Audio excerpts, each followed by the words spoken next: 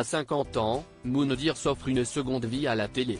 Celui qui s'est fait connaître par ses mouvements de colère et son caractère bien trempé dans l'émission Colanta en 2003, affiche désormais une image plus lisse.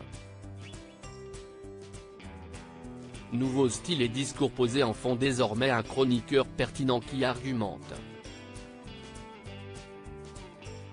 CIST, en tout cas, l'avis de Cyril Hanouna qui a recruté l'ancien coach sportif pour cette nouvelle saison du talk show de C8.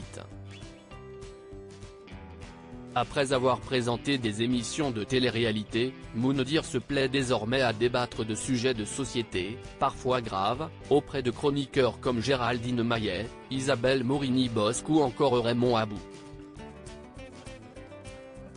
Ce jeudi 5 octobre, l'ancien aventurier a relayé un triste message. En effet, Moundir a fait part de la haine dont il est victime.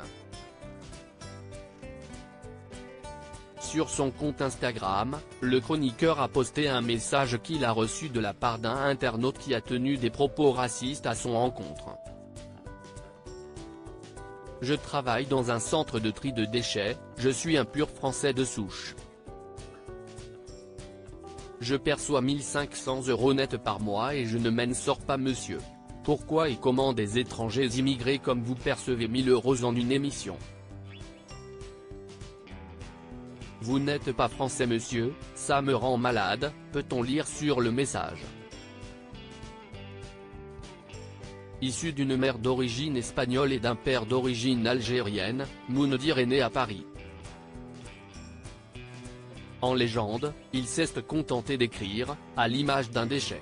Nul doute que ce message a dû toucher le chroniqueur qui s'était confié récemment dans l'émission chez Jordan de Luxe au sujet de son salaire dans TPMP. Il avait révélé percevoir 1000 euros sur facture par émission soit environ 600 euros nets. Un message de haine qui a fait réagir de nombreux soutiens de Moundir si les réseaux sociaux permettent un déversement de haine de manière anonyme, ils servent aussi à apporter son soutien et à dénoncer des propos injurieux.